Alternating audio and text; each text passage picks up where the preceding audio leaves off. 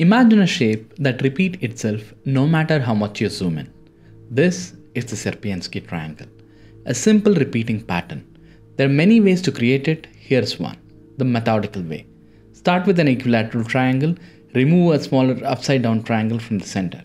Repeat this process again and again. With each step, the pattern unfolds. Now, let's try something different. Start with a point inside an equilateral triangle.